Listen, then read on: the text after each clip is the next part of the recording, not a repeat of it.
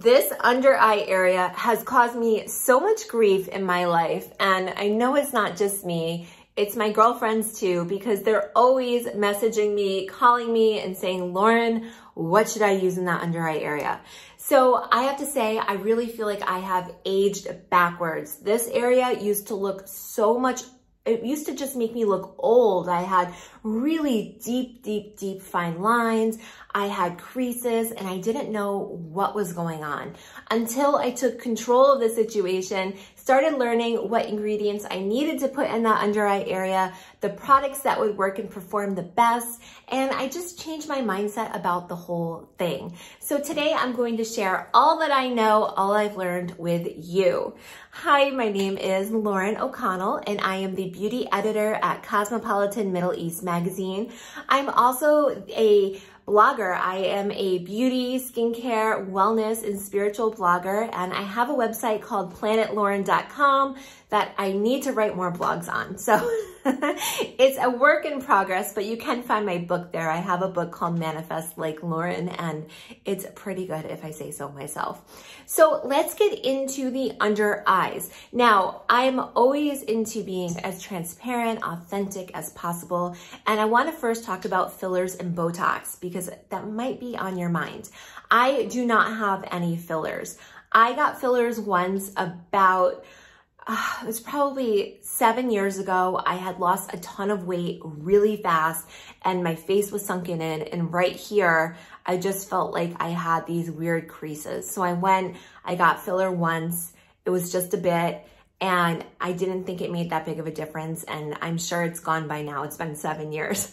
And as far as Botox goes, I do get Botox and you know what? I really like Botox.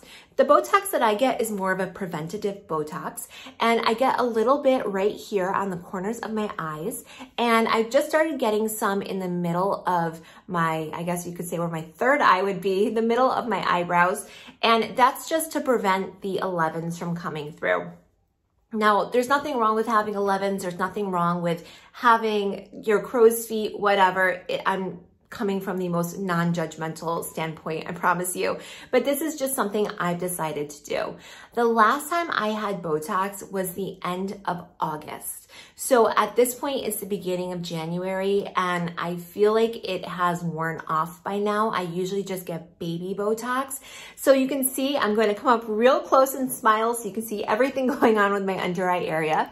I have two lines right here that are poking through. Oh, I have an eyebrow I forgot to brush. Ah, and you can see underneath my eye when I smile, when I, you know, push up, that I get some lines coming right here, which are just, I guess, smile lines. And I have a little bit of some crow's feet right there. So I'm probably due for another Botox session and I will get that when I get around to it. I'm still in that post, I guess, holidays relaxation mode. So my under eye area used to look a lot a lot different.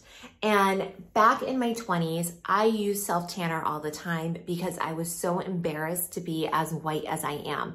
I could not accept myself for having such a pale skin color and I felt like it was embarrassing. I needed to look like everyone else and follow the mainstream beauty standards. And to do that, I decided I needed to constantly put self-tanner on my skin, not realizing how aging it was to my skin and how damaging it was to my skin. And that really contributed to my under eye fine lines. I also was not aware of the types of ingredients I should put should be putting on my skin. And I would use just any creams I came across. And that could be creams for people with oily skin. That could be creams for people with normal skin. I have very dry skin, so I wasn't necessarily using the right things. I can guarantee you if I looked at those ingredients labels today, I would probably pass out because I'm sure that there were fragrances in there, perfumes, which should never be in skincare, that there were pro-drying alcohols, which would just dehydrate and damage my skin barrier and just really age the skin. I'm sure there was isopropyl palmitate, which is a very mattifying ingredient. And for me, that just is a very aging ingredient. So once I started to really take control and inform myself about the right things to use, that's when the magic started happening. It just so happens that I am a science geek and I call it geek chic, but I have a bachelor's of science in mechanical engineering and I concentrated in biomechanics, which I actually had to fight my dad to let me get that biomechanics concentration. And I was just after the bio part of it because I love anything sciencey that relates to biology. That was always one of my favorite subjects. I have a master's of science in nursing and when I was in nursing school, dermatology was just my favorite. If I had gone on to become a nurse, I definitely would have gotten somewhere in the dermatology field. So I like learning about the ingredients. It's fun to me. It's interesting. Sometimes I even will read some uh, research papers just to find out the latest and greatest. This is just who I am. So Getting into the under eyes, I have two sets of products I'm going to share with you. And I love both sets. One of them totals to $120. The other set totals to $33. I'm not going to use the words affordable or budget friendly or anything like that. To be honest, I hate those terms because $33 still might be way out of someone's budget. And I'm also not saying that you have to change your uh, eye creams or eye products right now. It's just a suggestion to maybe start looking into the ingredients of the products you're using to see if they're going to really give you what you want in your in the performance of your products, the performance of your creams. So what I do is I always use a serum followed by a cream. And that's because the serum is going to penetrate deeply into that under eye area. And then the cream is going to kind of sit on top. Think of a piece of bread when you are going out to a restaurant and you order your food, then they bring a bread basket and you have the option to do an oil and vinegar. You put it on the plate and then the bread soaks it up. That's like a serum. Putting butter on the bread would be like a cream. So doing both is going to um, really saturate that piece of bread as best as possible. So we're gonna do it both ways because we are overachievers. And I always like to just remind myself it's a mindset thing too.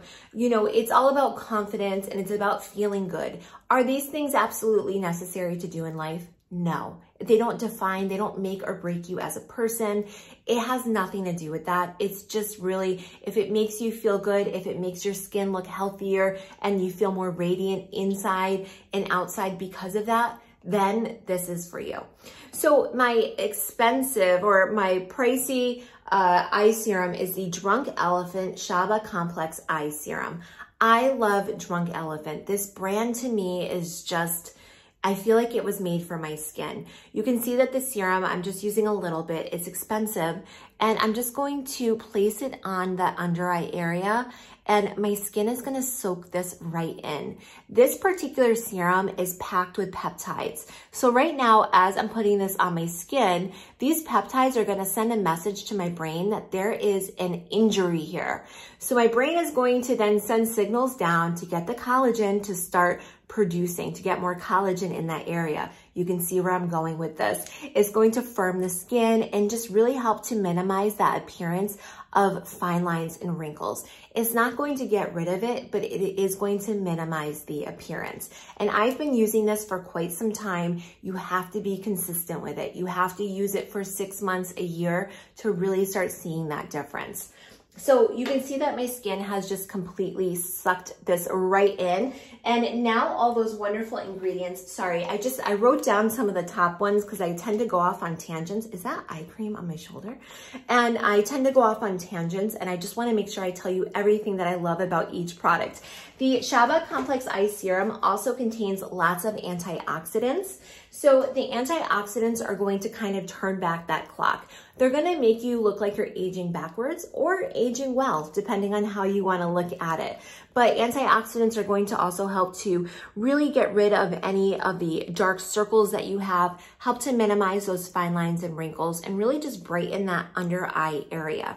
It also contains niacinamide, which is just one of those miracle ingredients. The list of things that niacinamide does for the skin goes on and on and on. But it's going to help to really depuff that area and just to brighten that area and keep that skin looking healthy and radiant. Now I'm gonna go in with the Drunk Elephant Ceramighty AF Eye Balm. This is a new eye cream from them that I've been using for since it came out.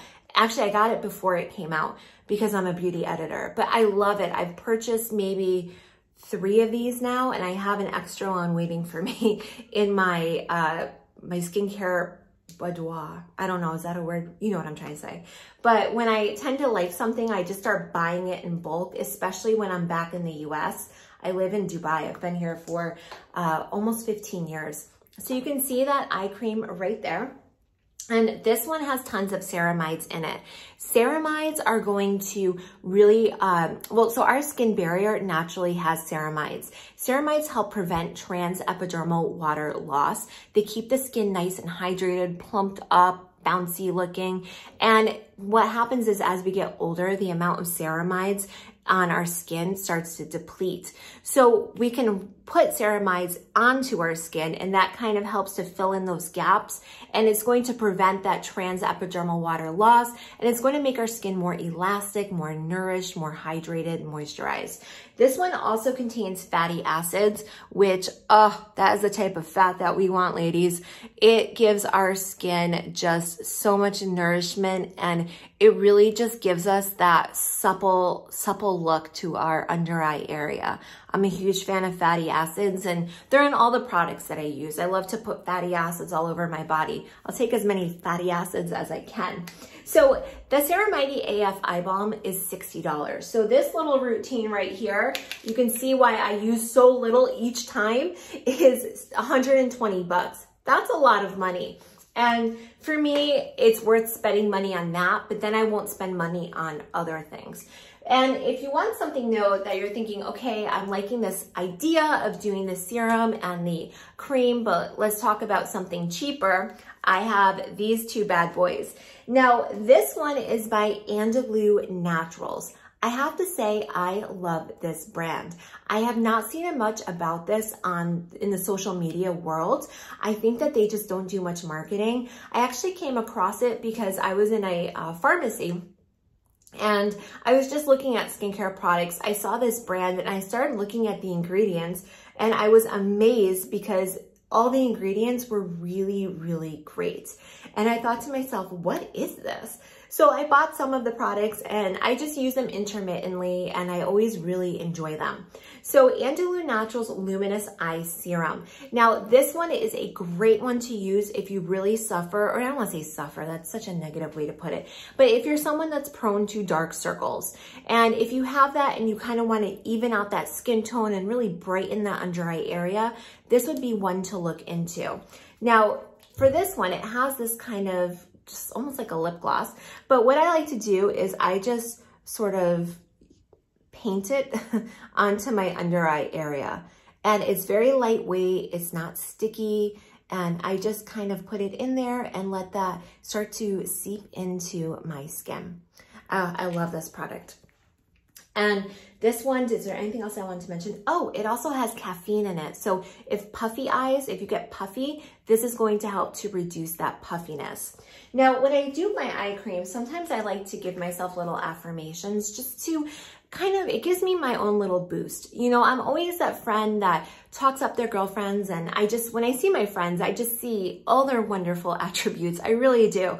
And I'm always talking to them about it and saying like, gosh, you know, you're so um, like one of my girlfriends today, she's Irish and she left me a voice note and I messaged her back and I said, I could listen to you all day long. I love your accent. And you know, I always remember to not only put that out there for others, but to give it to myself. So when I put on my under eye creams, serums, when I put on my, my face, you know, my face creams, I'm always just saying to myself, you know, I am a confident woman. And I haven't always been. I had a really long journey with self-doubt and oh, so much that I had internally to get through. But I just say I'm a confident woman and this eye cream is just really illuminating that confidence within me. I say stuff like that to myself. Give it a try, even if you think it's a bit silly. You'll be surprised by the shift in mindset that comes to you. So this is Acure. Now, once again, a brand that I didn't really hear much about. I went to Target this summer. When I go to Target, I haul. so does my daughter.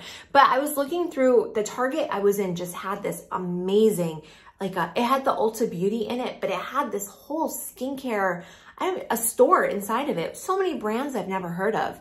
So Acure saw the ingredients in these different products and I thought to myself, wow, who's ever formulating this actually cares and knows what they're doing. They care about the ingredients they're putting into their products and they know what they're doing with them. So this one has, this is a great one for those puffy eyes. It has green coffee in it and that's just that caffeine is going to really help to minimize that puffiness.